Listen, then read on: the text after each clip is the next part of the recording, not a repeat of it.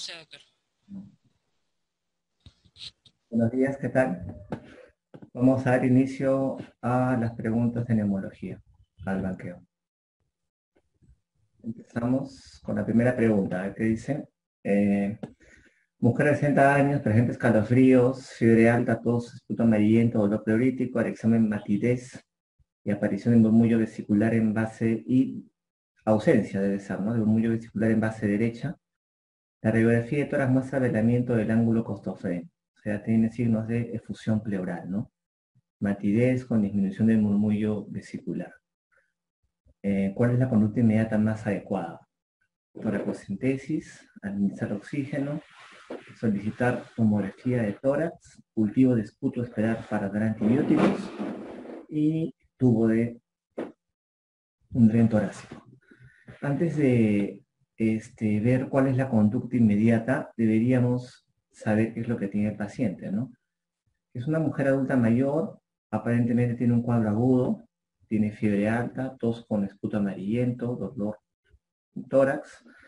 Aparentemente una neumonía parece, ¿no? Ahora, no nos ponen el tiempo de evolución de esa neumonía, pero sí mencionan de que aparece matidez y aparición de murmullo vesicular en base derecha. Perdón, ausencia de ese, murmullo vesicular. Eh, si tenemos una neumonía con signos de efusión pleural, ¿qué podríamos sospechar? O que es un paraneumónico o que es un empiema una de las dos.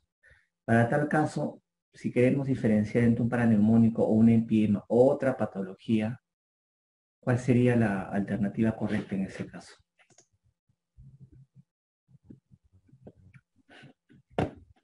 Sería la alternativa A, una toracocentesis diagnóstica. Algunos me han, me han puesto que puede ser la E, la E sería en el caso que confirmáramos que es un empiema o un paraneumónico complicado. Pero para saber que es un empiema, yo necesito eh, punzar y ver pus. Mientras no tenga eso, no, o sea, por eso clínicamente mi sospecha es que tenga fusión total. Por la placa también parece. Pero tengo que diferenciar qué cosa es. ¿Es un paraneumónico complicado no complicado o es un empiema? Acuérdense que a lo que, a que se pone tubo de drenaje torácico es el paraneumónico complicado y al empiema. Al paraneumónico no complicado, o sea, al líquido no infectado no se le pone ese tubo de drenaje torácico. Entonces, estamos en el caso corresponde a una neumonía que se complicó con infusión pleural. Y hay que diferenciar si este caso viene a ser un empiema o un paraneumónico complicado, por lo que se requiere una toracocentesis. Para que se acuerden de que con la toracocentesis que vamos a diferenciar. Diferenciamos entre un líquido no inflamatorio, un trasudado, de un líquido inflamatorio, que es un exudado. Acuérdense que los líquidos no inflamatorios, los trasudados se deben a sobrecarga hídrica. Acá hay aumento de la presión hidrostática y o disminución de la presión oncótica y se debe, por ejemplo, a una falla cardíaca, cirrosis, nefróticos, etc. O sea, causa de sobrecarga. Como es sobrecarga hídrica, la función pleural suele ser bilateral. Bilateral o si no del lado derecho. Pero la mayoría es bilateral. En cambio, los exudados son líquidos inflamatorios. En el exudado hay una enfermedad, hay una enfermedad del pulmón o de la pleura. Y por lo general son de un solo lado, de un solo lado. A excepción de quizá patologías autoinmunes. Un lupus, una R, me dan exudados porque son enfermedades inflamatorias, pero son exudados bilaterales, por ejemplo, para tener en cuenta. ¿Cómo diferenciamos uno de otro? Toracocentesis. Ahora, ¿por qué es importante diferenciar un trasudado de un exudado?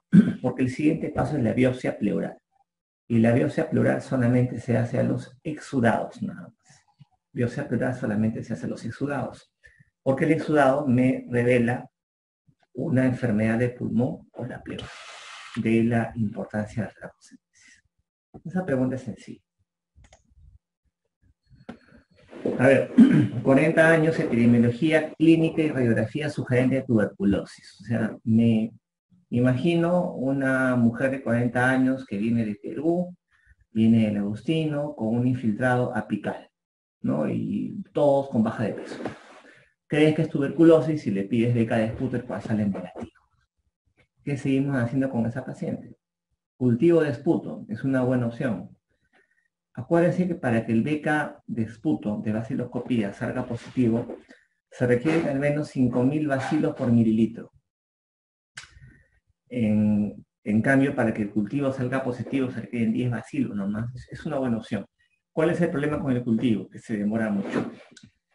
Tardaremos por lo menos un mes en tener el resultado. Broncofibroscopía es la otra, prueba terapéutica, o sea, pienso que sé, le doy el esquema. Podría ser válido también, puede ser válido esto. En algunos lugares donde no hay otros métodos de estudio muy alejados, clínica, radiología, suficiente para iniciar. Podría ser, pero hay que ver otras opciones. Tomografía. Al igual que la placa, me van a dar lesiones sugerentes, ¿no? O sea, no, parece que esté, mira estos nódulos, sí parece, pero quiero ver al vacilo. Ecografía no tiene nada que ver acá. ¿Qué me dicen de la B? Broncofibroscopía.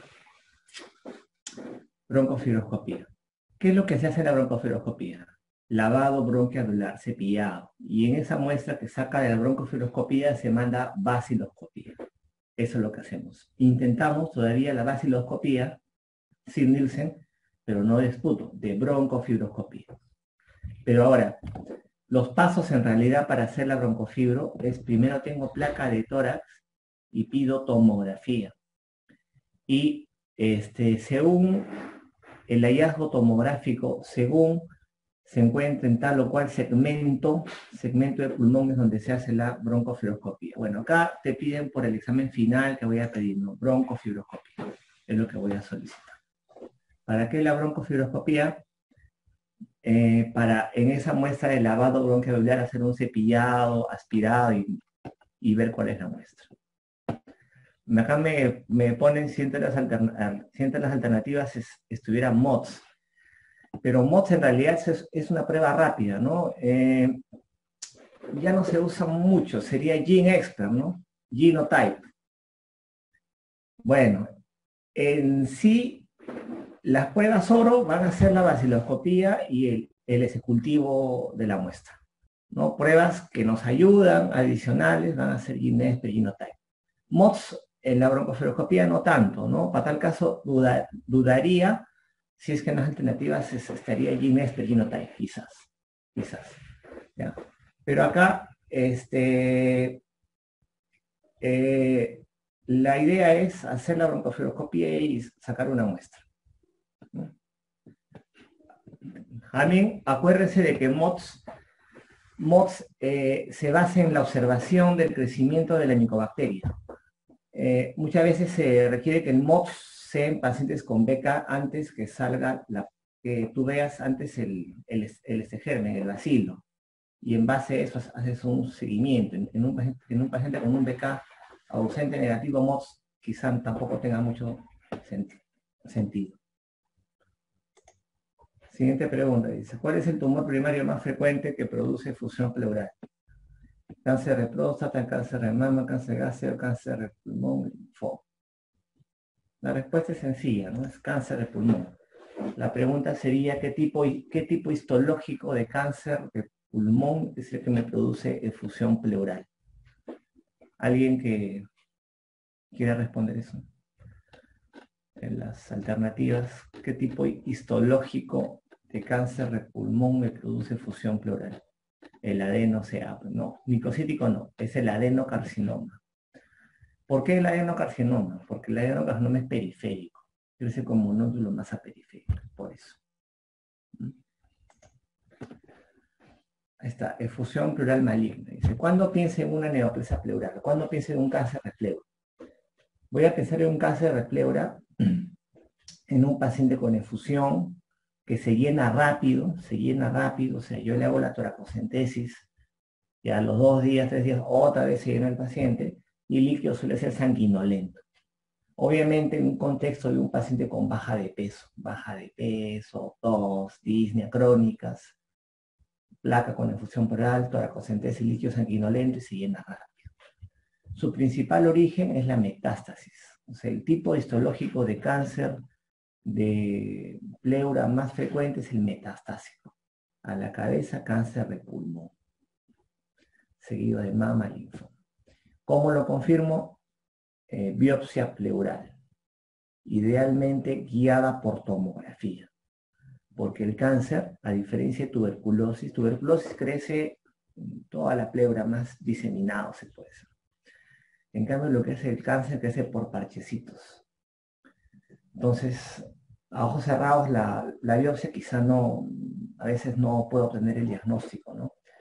Idealmente debería ser guiada por tomografía, idealmente, ¿no? Vamos a las alternativas. Si tengo dos biopsias negativas, toracoscopía diagnóstica. Como pueden ver acá en la figura, se, se mete el toracoscopio y se explora la cavidad de la pleura y yo veo, ah, aquí está el cáncer, acá saco biopsia. Pero primero biopsia idealmente guiada por tomografía, en casos de cáncer.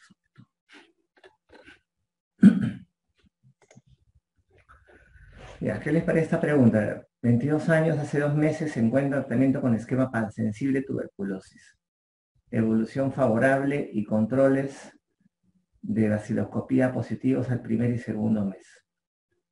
O sea, ya al final de la primera fase ya sigue positivo. Conducta más adecuada. Agregar que tocas el esquema 1, excepto el esquema 1, continuar un mes para la, más la primera fase, cambiar a otro esquema, continuar en tratamiento y solicitar cultivo. ¿Qué les parece raro primero de esa pregunta? Es una pregunta que es bastante antigua, ¿no? O sea, que te hablen de esquema 1, streptomicina es bastante antigua. Entonces, las preguntas muy antiguas, sobre todo de tuberculosis, tienen que tener cuidado. Algunas puede que no tengan respuesta. No tengan respuesta. Eh, pero vamos a intentar, digamos, adaptarla. ¿Cuál es la alternativa que ustedes quizás se plantearían? Bueno, teniendo en cuenta siempre que, es una pregunta, digamos, antigua, ¿no? Pero ¿cuál es la que podrían ustedes marcar como alternativa propia?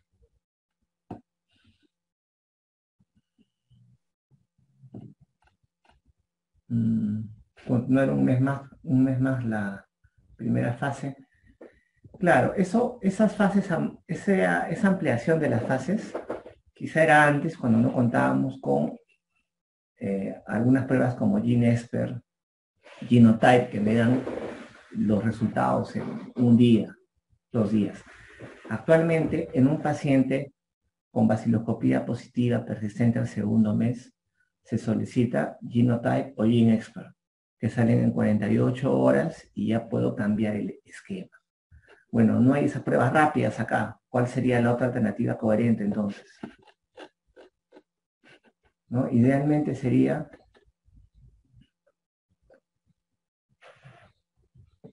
unas pruebas rápidas, ¿no? Como no hay eso, continuar el, esquema y solicitar cultivo. En ese caso, solicitaríamos Genotype o GeneSpert, esperando resultados para cambiar o no un esquema de tuberculosis resistente. Eso es lo que digo.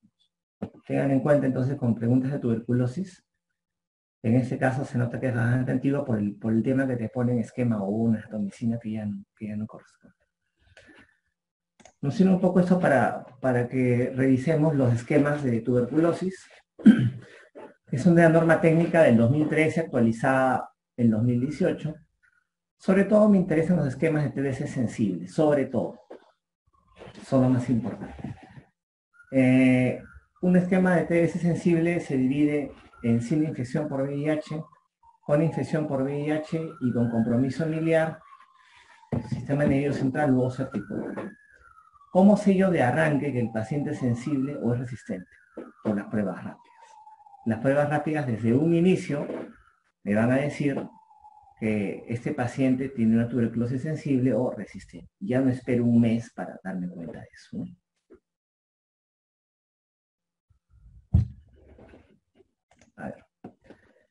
TBC sensible sin infección por VIH. El esquema va a durarme seis meses. Dos meses todos los días. Lisonecida, rifampicina, y tambutol. Y cuatro meses, tres veces por semana, lisonecida, rifampicina. ¿A quiénes voy a dar el esquema? A los pacientes con tuberculosis pulmonar y extrapulmonar sensibles. ¿Y cómo sé que son sensibles? Por las pruebas rápidas. TBC extrapulmonar. Pero con excepción, dice, excepto sistema nervioso central, articular y miliar. Porque esas tuberculosis van a recibir un esquema aparte. O sea, este esquema lo voy a poder dejar, por ejemplo, en TDC intestinal, TDC cutánea, TDC ganglionar, TDC pericárdica, pero menos en esas tuberculosis. Si el paciente tiene infección por VIH, el esquema me va a durar nueve meses. Primera fase, de cuenta, es la misma, ¿no? Dos meses todos los días, isoniazida, rifampicina, piracinamida, botol. Y siete meses, eh, todos los días esta vez, isoniazida, rifampicina. Igual va a ser para tuberculosis pulmonar y extrapulmonar. Eh, a excepción siempre de este nervioso los articular y tuberculosis miliar. Porque estas tuberculosis de acá van a recibir un esquema aparte, un esquema de un año de duración. Primera fase, te das cuenta, va a ser la misma siempre. Pero lo que cambia acá es la segunda fase. En esa tuberculosis miliar, sistema nervioso central y articular, eh, primera fase va a ser, como dijo, la misma, dos meses de isoniazida, rifampicina, piracinamida, butol todos los días. Y la segunda fase van a ser 10 meses todos los días isoniazida y rifampicina. Para ese tipo de tuberculosis, independientemente que el paciente tenga o no tenga infección por VIH. Esto nos sirve para, para que recuerden que las preguntas con respecto a tuberculosis pueden tener cambios. A veces ya no tienen respuesta porque las normas técnicas se han ido actualizando conforme pasan los años. La última es la del 2018, que es una actualización de la del 2013, no, no hubo muchos cambios en realidad.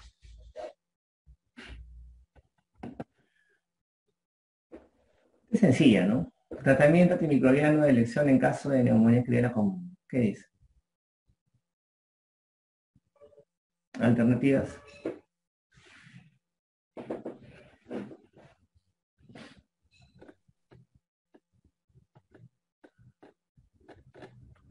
Claro, no hay mayor, mayor ese problema acá, ¿no? Alternativa B, cefalosporina de tercera como ceftriaxona más un macrólido, claritromicina y citromicina. Acá sí hubieron cambios, la guía del 2019. Bueno, cambios en la, en la guía, porque los esquemas básicamente son casi iguales, ¿no? Acá te dividen para manejo ambulatorio, paciente que se va a su casa, a su casa. Eh, digamos, un paciente joven, sin comorbilidades, sin mayor disnea, que no tiene saturación baja. Sin comorbilidades o sin factores de riesgo para gérmenes resistentes. ¿Cuáles son los factores de riesgo para gérmenes resistentes? Edad mayor de 60, 65 años, eh, comorbilidades y uso de antibióticos en los últimos 90 días usa antibióticos en los últimos 90 días, tiene comorbilidades, eh, o tiene más de 60, 65 años, decimos que tiene riesgo de gérmenes resistentes. Si vas a manejarlo ambulatoriamente, tu esquema debería ser otro. Si no tiene ningún tipo de esos factores, ni edad, ni comorbilidades, ni uso previo de antibióticos, tienes opciones para manejarlo. Puedes manejarlo, por ejemplo, con amoxicilina, un gramo cada 8 horas, acitromicina, claritromicina o doxiciclina. La doxiciclina es una alternativa, no es primera línea. ¿Cuándo uso doxiciclina? Cuando tengo QT largo. El QT largo, QT largo, en el electro, me predispone a arritmias ventriculares. Entonces, en esos pacientes con QT largo, macrólidos no debería usar, podría usar doxi. ¿Cuándo voy a usar amoxi más que acitro? Por ejemplo, cuando típicamente es una, es una neumonía o una consolidación, ¿no? Ya sea que mi placa de tórax sea un consolidado basal, o por la ocultación, por ejemplo, las lesiones están más en un lado del, tórax, ahí yo usaré amoxicilina. Pero si tengo pocos hallazgos en la auscultación, si la placa de tórax me dice que tengo más un patrón intersticial bilateral, voy a pensar en gérmenes atípicos, usaré quizás acitromicina, caritromicina. Atacados son opciones terapéuticas, ¿no? Ante una pregunta hay que ver bien qué es lo que nos pone, qué tipo de atención. Más bien si el paciente tiene comorbilidades o tiene factores de riesgo para gérmenes resistentes, tengo opciones. opciones, pero son las que tengo acá. O uso amoxiclavulánico o cefuroxima más macrolidodoxi o doy un solo fármaco, monoterapia con fluoroquinolonas respiratorias. Fluoroquinolonas respiratorias son las que debería usar. Estas fluoroquinolonas respiratorias justamente eh, se usan para estos casos, no ciprofloxacino. Ciprofloxacino no me cubre gérmenes de la vía respiratoria. Un neumococo, por ejemplo, ciprofloxacino no lo cubre. Tengo que usar en ese caso levomoxigimifloxacino. Son alternativas en base a tipos de pacientes. Esto es, con paciente ambulatorio. ¿Qué hacemos con un paciente hospitalizado? Eh, un paciente diabético, mayor de 60 años, paciente que tiene saturación baja. Tengo opciones terapéuticas, dos opciones. La combinación de un beta-lactámico, que puede ser ampisulbactam, cefotaxima o ceftriaxona más un macrólido. La guía no dice solo ceftria, acitro, cefsacarito. Dice beta-lactámicos, cualquiera de estos, más macrólidos. La otra opción es una fluoroquinina respiratoria, de preferencia por vía endovenosa, levofloxacina o moxifloxacina. En neumonía para manejo hospitalario no severa, no severa. ¿Cuál es la no severa? La que no tiene shock séptico, la que no va a UCI para ventilación mecánica. Pero si es una neumonía severa, el manejo es bastante parecido. ¿ah?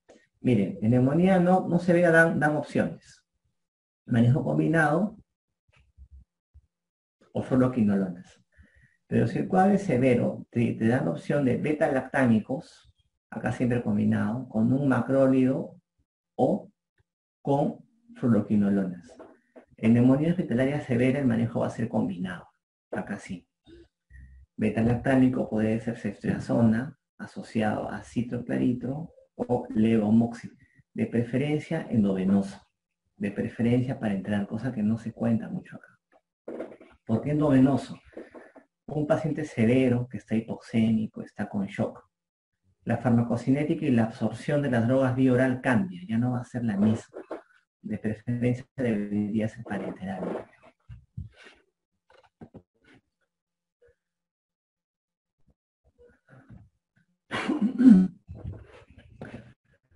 18 años de edad, antecedentes de dermatitis alérgica, todo silbido de pecho en las noches, examen físico murmullo vesicular pasa bien en ambos campos pulmonares, unos ruidos agregados, espirometría, BEF sobre capacidad forzada 60%.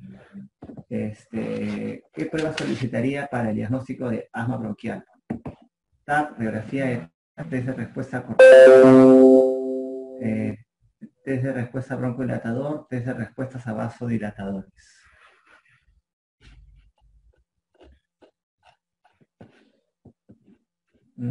Si es un paciente con sospecha de asma, la respuesta sería un test de broncodilatación, un test de respuesta a broncodilatadores. Es lo que solicitaríamos en este paciente.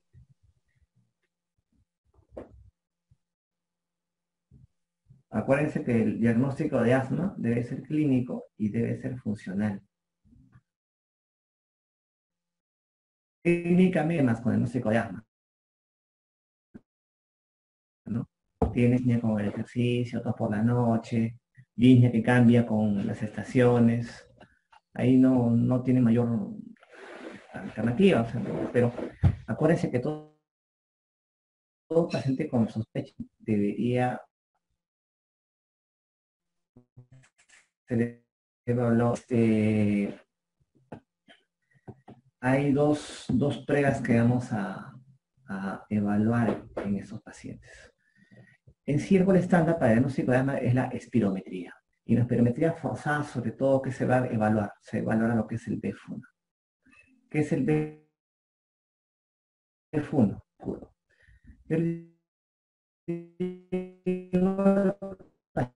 gente que inspire, quiero que todo lo bote. El máximo volumen de aire expirado luego de una inspiración máxima es la capacidad vital forzada. Lo máximo que expiro luego de inspiración. Pero el primer segundo que yo voto de aire viene a ser lo que es el BF1. El BF1 es el primer segundito que yo voto de aire. Este BF1 sobre todo se va a alterar en lo que son los, las alteraciones de tipo obstructivas. En un patrón de tipo obstructivo, ¿qué es lo que sucede? El aire entra pero no sale. El asma es obstructivo, el aire entra y no sale. Entonces yo inspiro y el aire no sale. Si el aire no sale, este BF1 va a estar disminuido. Ahora, ¿en qué consiste la, el test de broncodilatación con la espirometría? Se le toma al paciente un basal del BF1 y se le pone salbutamol, mentolín, un par de puffs. Se esperan 15 minutos, 15 minutos y se vuelve a tomar un B1.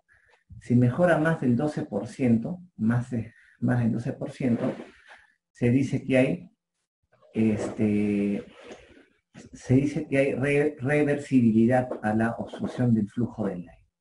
Eso es lo que se busca, que la obstrucción sea reversible y es y así decimos que el paciente, que, que estamos frente a un caso de un asma del paciente. Esto se hace con el, test de broncodilatación. Otra forma de hacer el diagnóstico de asma es midiendo el FEN o PEF, que es el flujo respiratorio máximo, peak flow. La ventaja de esta prueba es que es mucho más sencilla se le dice al paciente sopla y donde marca y está. Pero para valorar la reversibilidad se debería tomar varios controles de FEN o PEF durante varios días, varios días y sacar un promedio. Entonces el diagnóstico se puede hacer con BF1 o con FEN, viendo la prueba de la reversibilidad, idealmente con BF1. Ahora, ¿cuál es la gran ventaja de este flujo respiratorio máximo? ¿Para qué, para qué me serviría en sí? Este flujo expiratorio máximo eh, sobre todo va a ser útil en crisis asmáticas. Me va a servir para el monitoreo de la crisis del asma, sobre todo. Es el parámetro más objetivo para esto. ¿Cuáles las siguientes patologías no causan insuficiencia respiratoria ventilatoria? ¿Qué me dicen acá?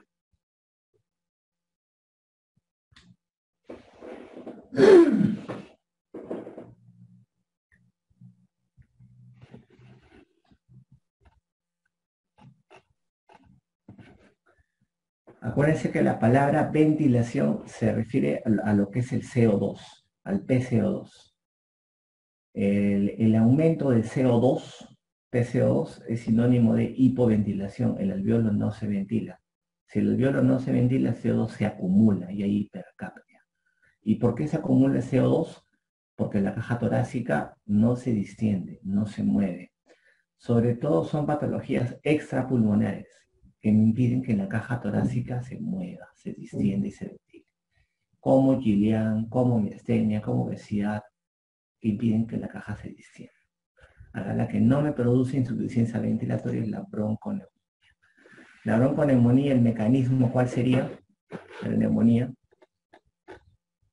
Shan, ¿no? Cortocircuito. Sería el mecanismo de la bronconeumonía.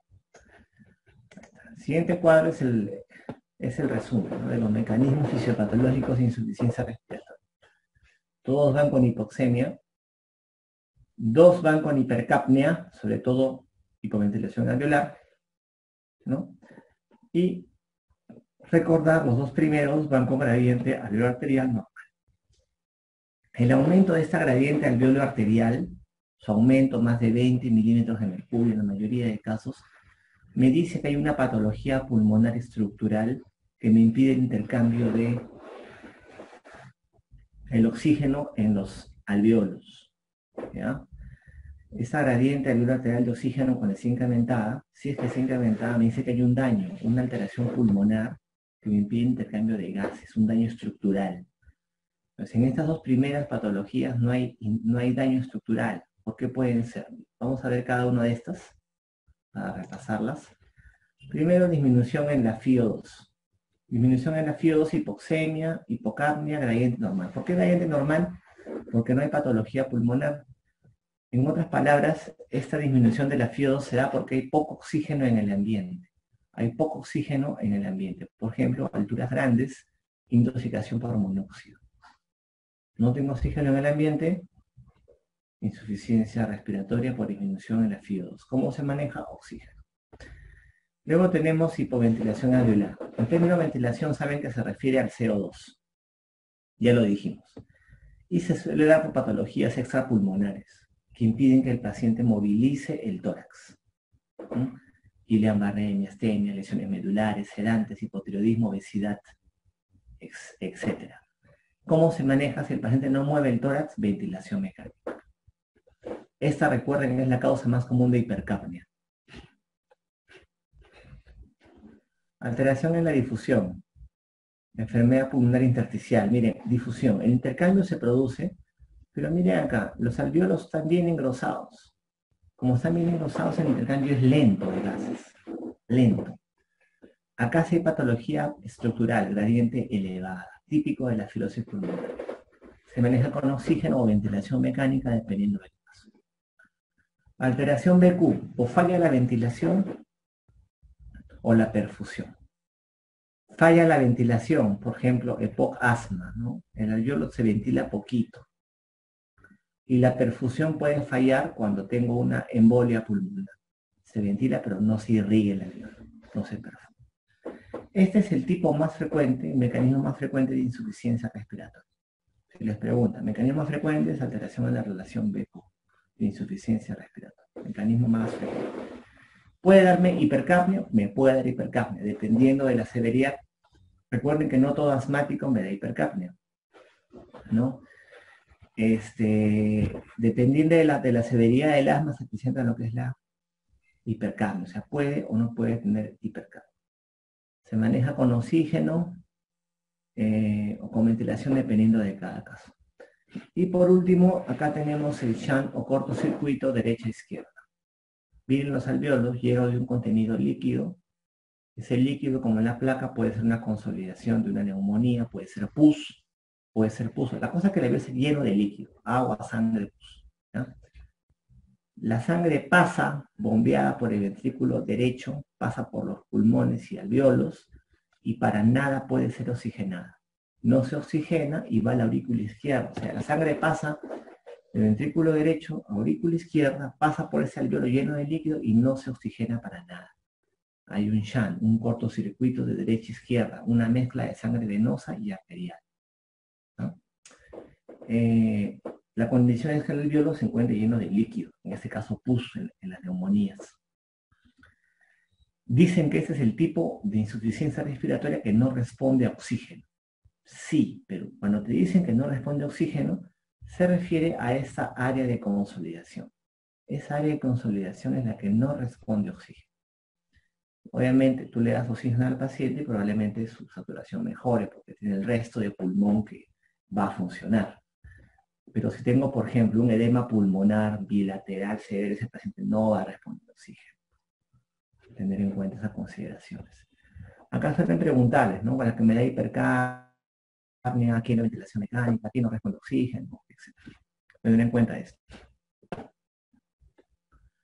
40 años, dice, sin antecedentes patológicos de importancia, placa de toras infiltradas en base mitoras derecho, diagnóstico de neumonía, agente más frecuente, no te pone ningún tipo de comorbilidad ni nada, simplemente una neumonía con una consolidación.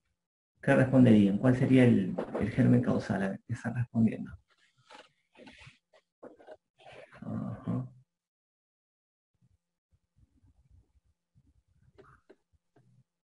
Algunos han puesto micoplasma neumonía, pero la mayoría ha puesto neumococo. Perfecto.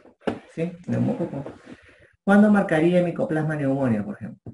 O sea, ¿qué le faltaría a la pregunta para que tú marques micoplasma neumonía? Es una forma que ustedes estudien, ¿no? O sea, hagan una pregunta y la modifican un poquito, ya. ¿Qué, cambiaría el enunciado para que la respuesta sea la D, por ejemplo? ¿Qué pondría? Más que atípica que el infiltrado sea intersticial. Jóvenes, la edad está por ahí, ¿ah? Jóvenes, adultos jóvenes, por ahí está. ¿no? La cosa es que sea un patrón intersticial bilateral. Eso, esa es, la condición. Si me, si me pondrían un patrón intersticial bilateral y algún estigma, estigma de inmunosupresión, por ejemplo, que cambie la pregunta, ¿tiene candidiasis oral, onicomicosis en pies y manos y un patrón intersticial bilateral. Ahí cuál sería su alternativa. Neumocístico, ¿no? Claro. Quizás no te pongan la pregunta de IH de frente, pero te ponen algún estigma, ¿no? Que es sugerente de Acá simplemente infiltrado en base derecho, con una consolidación. Neumococo. Neumococo, acuérdense, es el este, eh, germen más común causante de neumonía que vive en la comunidad, diplococo gran positivo encapsulado. Según su cápsula hay más de 90 tipos. ¿Cuál es el neumococo más severo de todos? El más agresivo de todos. ¿Se acuerdan qué tipo de neumococo?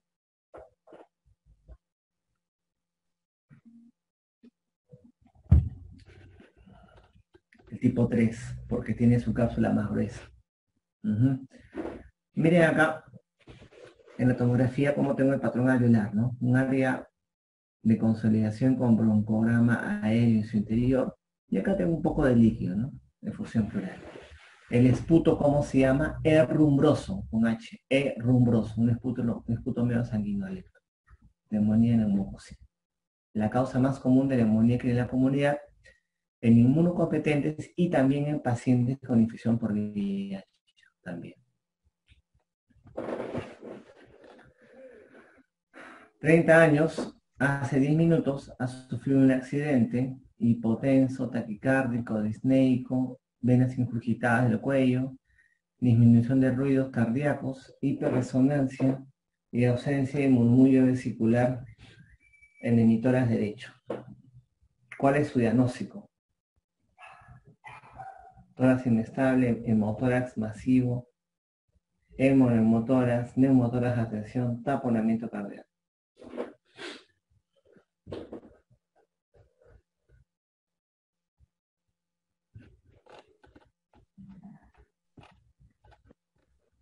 Claro.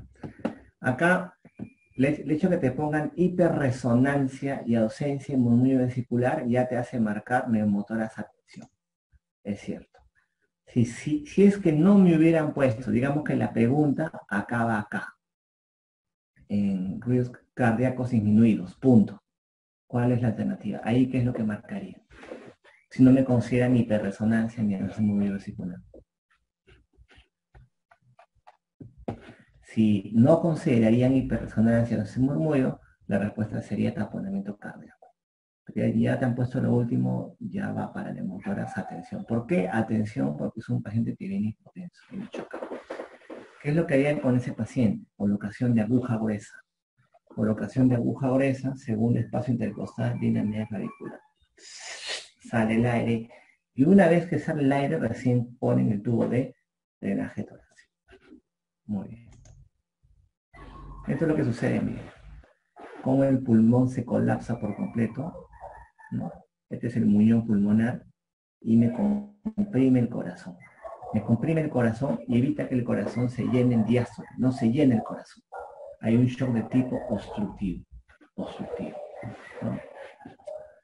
eh, en estos casos, pues, en neumotoras de atención la conducta es aguja base. Miren cómo en neumotoras de atención me empuje el mediastino en cambio, la telectasia me jala el mediastino, para que hay diferencia. 55 años antecedentes de alcoholismo crónico, acude a emergencia por fiebre, escalofríos, dolor torácico, base emitoras de derecho con signos de derrame pleural en la misma región, hemorama leucocitosis. ¿Cuál creen que es la, el diagnóstico probable? Empiema, hemotoras, neoplasia, micoplasma, micosis pulmonar, sarcoma pulmonar. No creo que marque la última, ¿no? Alcohólico crónico, fiebre, escalofríos, dolor torácico, ¿no? ¿Qué alternativa marcarían acá?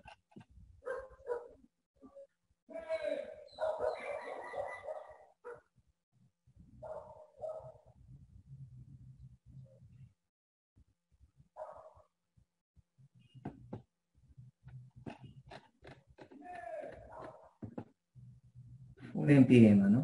Un empiema. Eh, un empiema. Esto, acá eh, probablemente, ¿qué es lo que ha sucedido? Los pacientes alcohólicos, por el hecho de ser alcohólicos, tienen factor de riesgo de neumonías aspirativas por anaerobios muchas veces. Estas se generan a veces en accesos pulmonares que se abren hacia la, hacia la plena, tienen empiema. Es la clínica, ¿no? Es, es, un cuadro febril, infeccioso, con locución plural o leucocitosis. El resto de, patologías no me darían un cuadro de ese tipo, ¿no? con fiebre o leucocitosis. Les mencioné que tiene que diferenciar derrame paraneumónico de empiema. Acuérdense que la mayoría de neumonías van acompañadas de derrame paraneumónico. Casi todas las neumonías, por un poco, van con derrame paraneumónico. Pero es un paraneumónico no complicado. Por contigüidad del consolidado con la pleura hay una irritación, inflamación y hay un exudado que normalmente se dé con antibióticos. Sepsia calitro, se arrasó.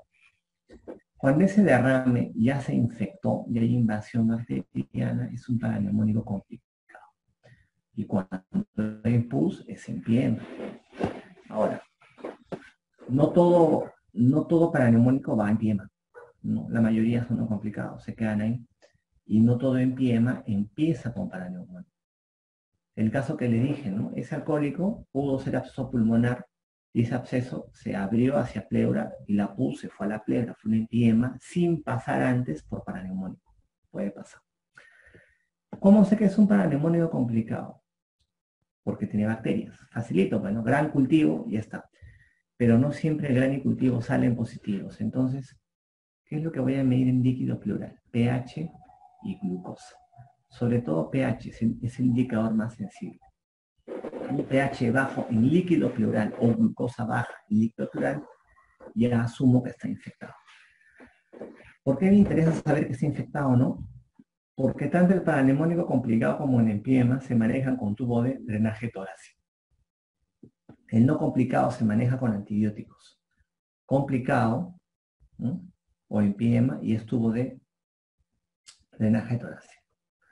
Acá las, características del líquido del empiema, pH bajo como les mencioné, con DHL incrementada. Acá hay un problema, ¿no? Mientras más me demoro en manejar el empiema, este evoluciona, estadio 1, 2, 3. Cuando llega un estadio 3 de empiema, dice organizada con engrosamiento pleural, el pulmón ya no puede expandirse en la inspiración, porque la pleura está muy engrosada. Cuando ya tengo muchas bridas y engrosamiento pleural, tengo que decorticar el pulmón. La pleura la saco, decorticación. En engrosamiento pleural, estadio 3 organizado. ¿no? Hago eso. En cuanto a los gérmenes más frecuentes, las series varían, es algo variable, pero se consideran los cocos gram positivos como los más frecuentes. ¿Cómo se manejan? Ya les he mencionado, antibiótico terapia suficiente para qué? Para paraneumónico no complicado. Si es un paraneumónico complicado o un empiema, tubo de drenaje torácico. Miren acá la ecografía, veo adherencias, tariques, pleura engrosada. Entonces yo punzo y saco poquito líquido porque todavía está con tariques. Ahí tengo que hacer toracotomía, toracotomía y decorticación. Pelar todo el, pulmón, sacar toda esa. Es lo que se hace. Creo que leímos antes. 55 años sobre mórbido, fiebre 5 días, en estudio de la fiebre, segundo día, crisis de excitación, parece una convulsión, diazepam endovenoso, a las dos horas no despierta, el examen taquicárdico, este, eh, presión tendencia a la baja, al ajo 9, no neurológico de focalización, no cianosis, tiene acidosis respiratoria, CO250, saturación 95.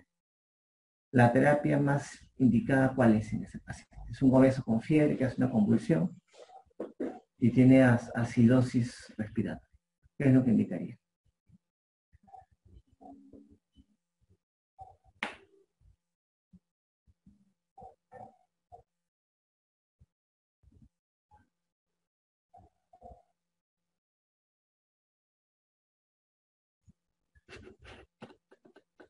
Es una pregunta para, para ver varios aspectos acá.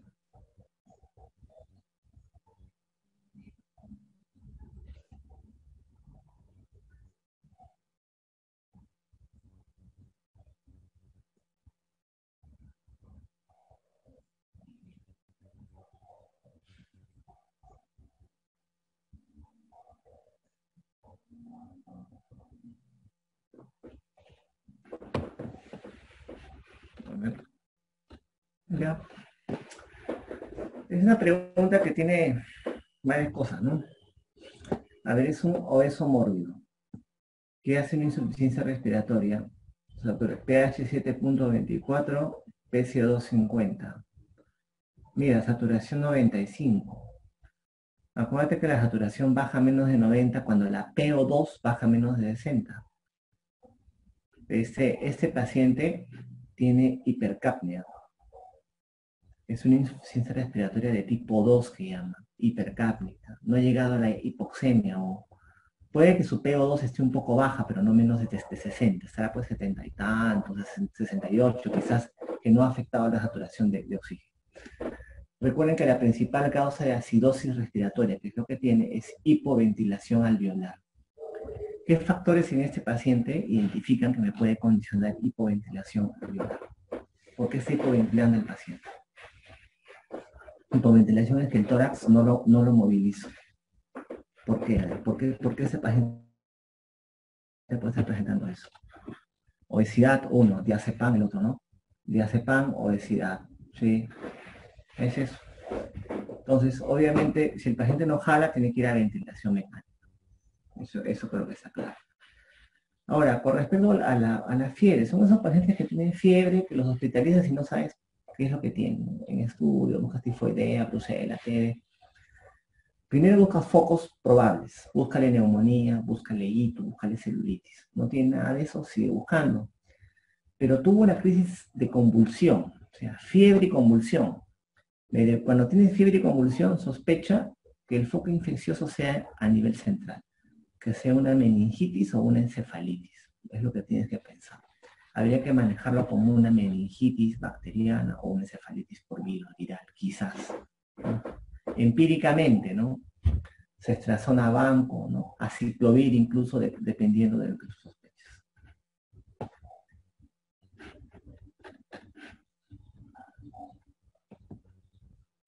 Este tipo de preguntas la ponen desde el año 90, creo, ¿no? Y todos los años ponen trasudado, sudado, cuáles son las causas, a ver qué cosas responden ahí.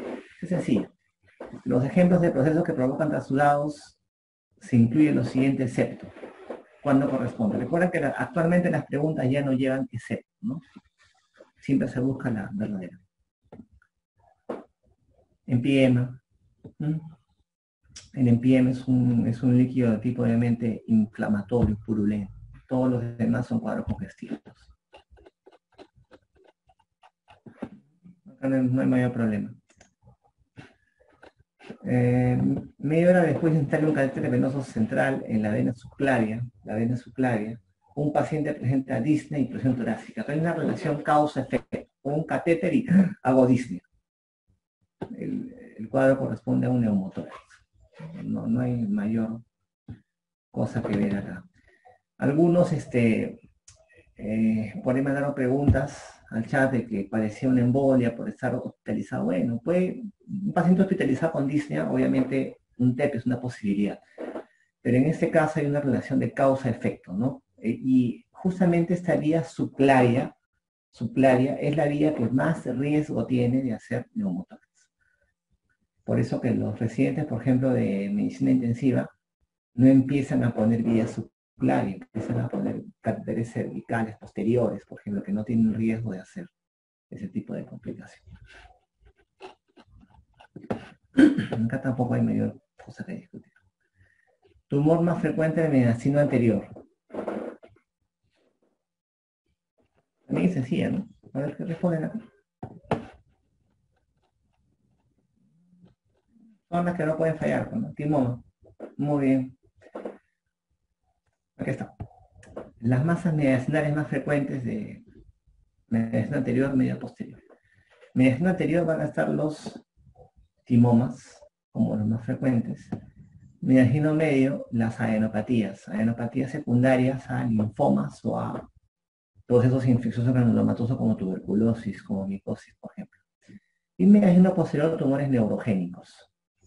Por ejemplo, mire acá la tomografía.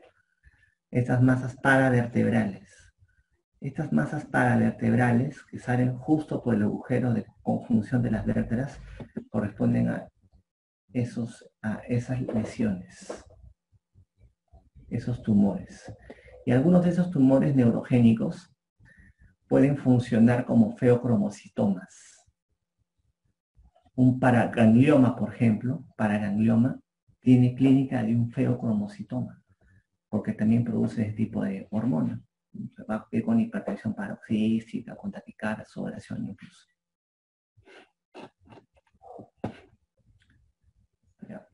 Para que recuerden algo de lo que es el timón, la edad promedio, igual en varones y mujeres. Quizá lo que más recuerden de lo que es el timoma sea miastenia. Pero recuerden, ya hemos visto antes, que la alteración del timo más asociada, más asociada este, con miastenia no es el timoma, es la hiperplasia del timo, ¿no? Pero obviamente el timoma también va con miastenia. Entonces, muchas veces el paciente no va por la clínica del tórax, no va porque tiene una masa, ¿no? Obviamente no. Va por el paraneoplásico, va por la miastenia y también va por anemia. Es causa de aplasia eritroide pura, aplasia eritroide pura. Y también produce inmunodeficiencia. Este tipo de lesión de masa es lo que nunca van a ver, ¿no? Una masa de anemia anterior. En caso de miastenia, acuérdense, más que el timoma es la hiperplasia del timo. Miliar, ¿por dónde va el vacilo? Diseminación de qué tipo es. Acá quizá puedan poner dos, este, tengan un par de, de dudas por ahí. A ver.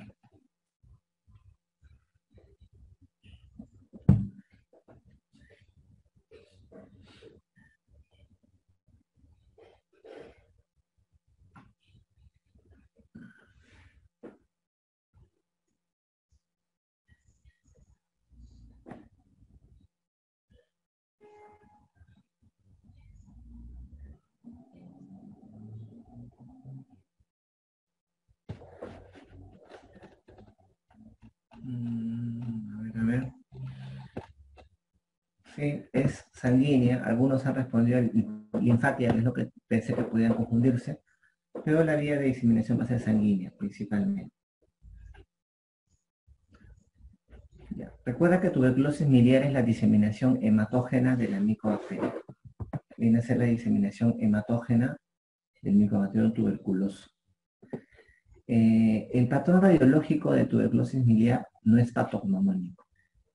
También puede verse un patrón parecido, por ejemplo, en lo que es este, histoplasmosis, neumonías virales, cáncer bronquiolobiolar, metástasis de cáncer de tiroides, por ejemplo, etc. Obviamente, en nuestro contexto, una placa de ese tipo, fiebre baja de peso, tuberculosis miliar. El problema de tuberculosis miliar, ¿cuál es el diagnóstico? La vaciloscopía de esputo, la sensibilidad es muy baja, es 30% solamente. Entonces el diagnóstico muchas veces se establece por clínica, por radiología y por epidemiología, es lo que hacemos. Es la diseminación hematógena de la micobacteria, hematógena, o sea, no solo es en el pulmón, es la evidencia inicial. Igual puedo tener en el hígado, vaso, riñón, fondo de ojo, meninges incluso. La milia recibe el nombre porque los que lo describieron, los que describieron la tuberculosis miliar, dijeron que se, aparentaba a las semillas de mijo. Los pulmones o los órganos de pacientes fallecidos, bien que tenían como nódulos amarillentos pequeñitos, ¿no? semillas de mijo, que es un cereal, Lo mismo van a ver, por ejemplo, en el hígado, el vaso y en el fondo de ojo. No olvidarse, ¿eh? corio retinitis tuberculosa. Corio retinitis tuberculosa aparece en 30% de pacientes con TBC miliar. Entonces, si tengo esta placa que me parece que es TBC miliar, pero viene de la célula del paciente y el fondo de ojo, pues, si encuentro acá también tuberculosis, suficiente, que no se puede tuberculosis. Entonces es una TBC sistémica de miliar, no olvidarse, hematógena. Adulto joven, 5 días, fiebre, cefalea, malestar general, oinofagia, examen físico, una timpánica congestiva, roncantes, hemorama normal, crioglutininas elevadas, anticuerpos fríos, agente causal probable, clamidia, citasi, ¿no? Citasia en realidad sería, hemófilus, micoplasma, estafilos, neumococo. ¿Qué dicen acá? Neumococo han puesto. Mm, neumococo me daría crepitante, es una consolidación en la placa, ¿no?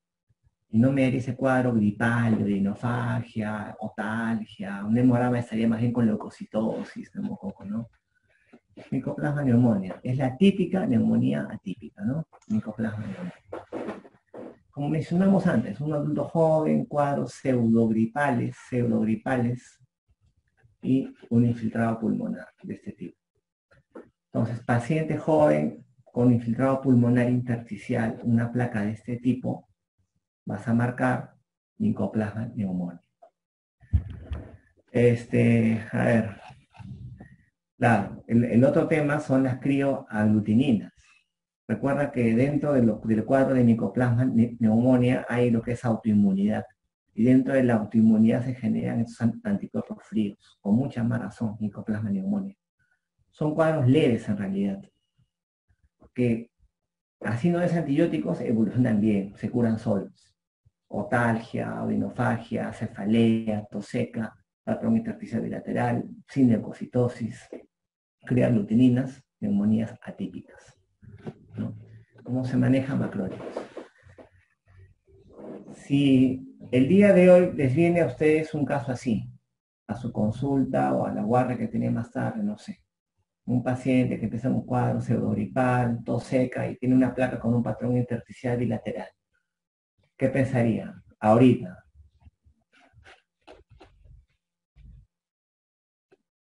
Ahorita es COVID. Ahora todas, todas esas neumonías son COVID, olvídense.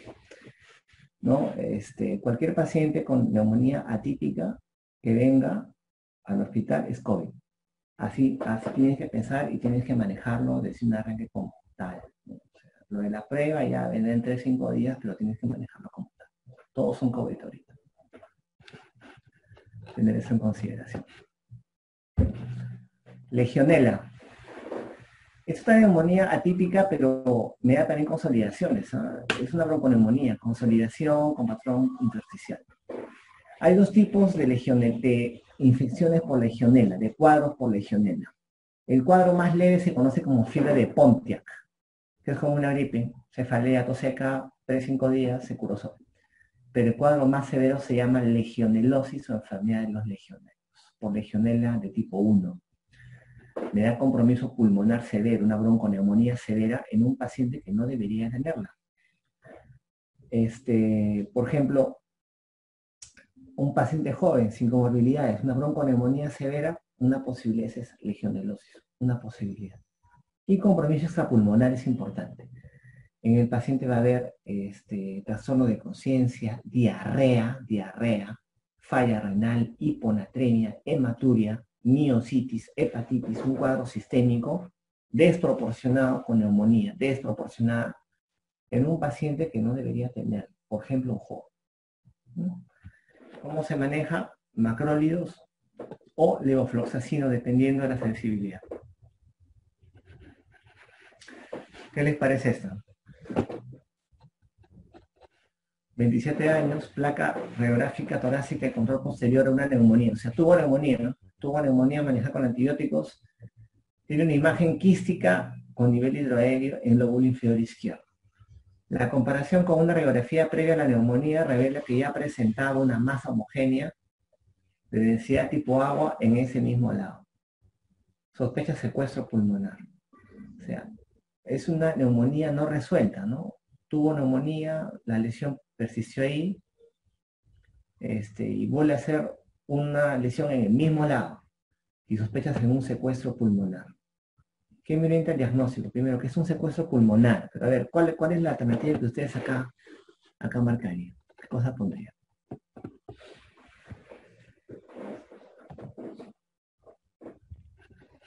ortografía, ¿no? Ya les puse la, alternativa.